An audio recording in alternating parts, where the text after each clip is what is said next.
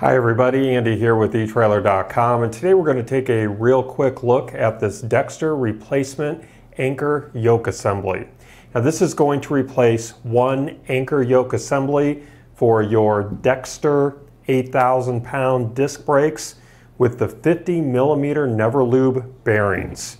This yoke assembly is going to mount on your brake, brake mounting flange on your axle and it's going to hold the disc brake caliper in place. So if you are needing to replace one anchor yoke assembly for your Dexter 8K disc brakes with the 50 millimeter Nev-R-Lube bearings, this is going to be exactly what you need. Well, that's going to conclude our brief look today. I do hope that it was helpful for you. Again, my name is Andy. Thank you for joining me.